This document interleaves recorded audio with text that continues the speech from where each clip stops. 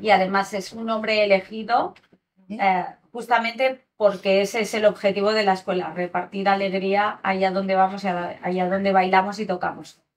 Y a ver, eh, ¿como cuántos alumnos tenéis? Alumnos hay un montón. Además, eh, la escuela es multicultural. Ya veréis que hay gente de muchísimos países, de muchas etnias, de muchos colores, de muchos pequeños, mayores. O sea, somos un grupo muy abierto a cualquier tipo de persona que se quiera acercar a, a bailar, a tocar, a divertirse y sobre todo a hacer divertir a los demás y a trasladar esa alegría.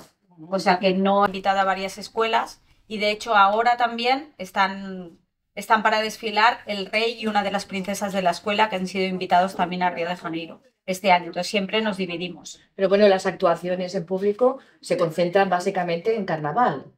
Sí, pero bueno, hacemos durante todo el año. Es lo que te decía, hay carnaval tropical en París, hay el carnaval de Notting Hill, que es también en Londres en verano, hacemos también carnavales de verano en la Costa Brava, o sea que en realidad la cultura del carnaval no es solo en febrero. La idea un poco es de, enseñar a la comunidad a sambar, a tocar instrumentos y un poco repetir o incorporar la parte de la cultura de Brasil y de Río de Janeiro a, esta la tendremos que cambiar, porque no me ha salido bien. No, bueno, repetimos, ¿qué vale. actividades hacéis?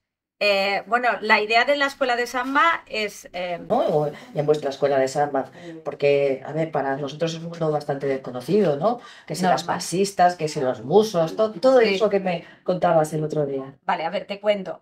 Em, como te decía, lo que intentamos es reproducir, bueno, intentamos no, hemos reproducido lo que es una escuela de samba de Río, claro, en pequeña escala, porque aquí la cultura del samba no es como allí, que en una escuela puede haber hasta 5.000 personas. Claro, nosotros todo eso lo tenemos que repetir, pero a pequeña escala.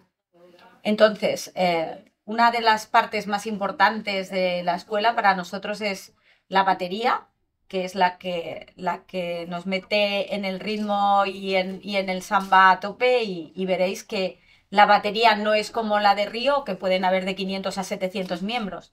Nosotros somos entre 30, 40, depende también del ensayo o del desfile, porque muchas personas no pueden o tal, pero cada como las batucadas al uso que hay aquí.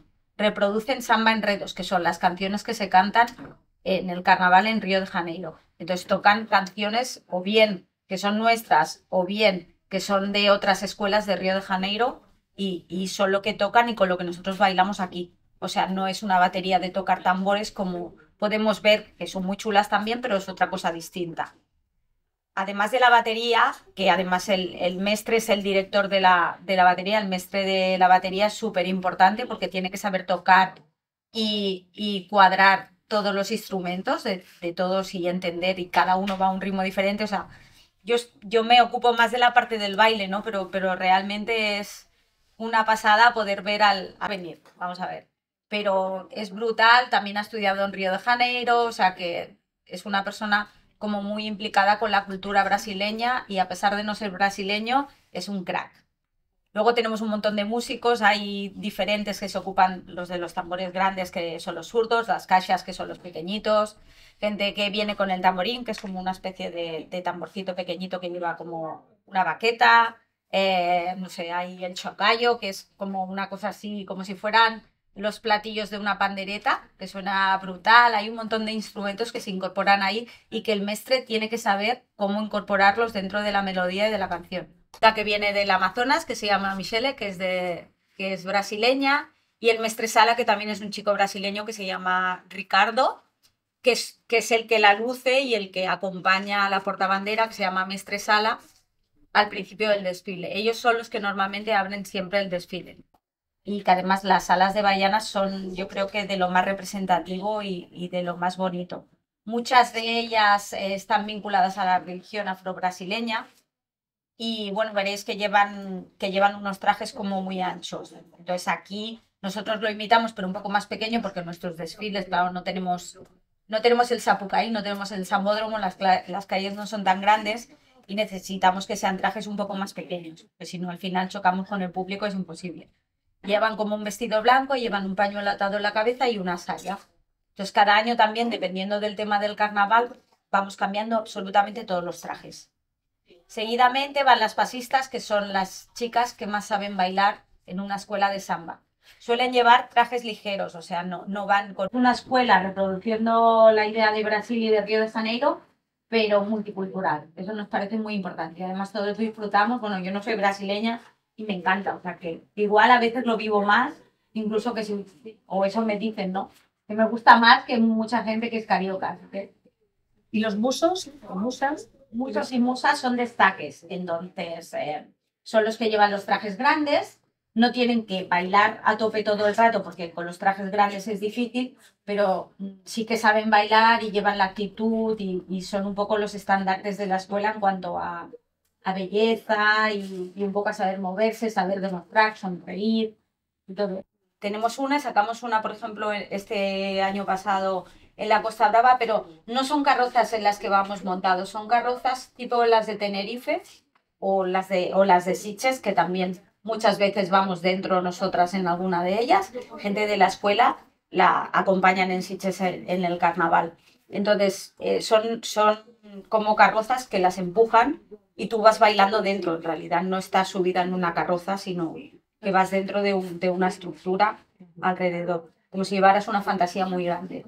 Vosotras, eh, el grupo, o sea, la, la, escuela de samba eh, está ubicada en Nou Barris, ¿no? Sí. Y entonces participáis en el carnaval de Nou Barris. Pues explícame este año eh, cuál es el, a ver, el tema, el tema, ¿no? Porque me has dicho que cambia cada año. Sí, y explícame, bueno, pues que saldréis en la rúa de Nou Barris, pero Nou Barris son varios barrios, ¿no? Varios, sí, La batería y luego rey, reina. La reina de la batería siempre en Brasil es lo más emblemático y es justo la que se coloca delante de los músicos. Y es, eh, está nombrada por la escuela, etc. Igual que, por ejemplo, eh, la portabandera en Mestresala son figuras muy importantes y muy representativas. Entonces es una persona que está muy vinculada a la escuela, que viene a todos los ensayos, que ayuda a las demás, que enseña a bailar, o sea, es una figura como muy importante dentro de, dentro de la escuela. Como te decía, el rey y una de las princesas están en Río, pero sí que tenemos a la reina de la batería aquí hoy en el ensayo, que luego la veréis con una fantasía grande, bailando y todo eso. Bien. Vale, volviendo al carnaval de Nou Barris. Sí, dime este año eh, qué tema lleváis y en qué, en qué rúa vais a participar. No, nosotros llevamos un tema en el que, bueno, votamos entre todos los de la escuela, hay siempre mucha vinculación democrática, cualquier de uno que se llama Samba en los pies y paz en el pecho. Un poco este año queremos reivindicar la lucha contra la tristeza, la ansiedad, el estrés y como nuestro nombre indica, pues llevar la alegría allá donde vamos. Y ese es el tema del desfile. Entonces hemos buscado mantener unas alas muy coloridas, eh, un poco basándonos en los colores de la escuela, ¿no? El rojo, el turquesa, el amarillo y el verde. Entonces, en el carnaval de Nou Barris nos veréis como con muchos colores, muy colorido, musas cada una de un color de la escuela, eh, dentro del ala de pasistas ellas van a llevar, van a reproducir un poco la idea de un loro, entonces van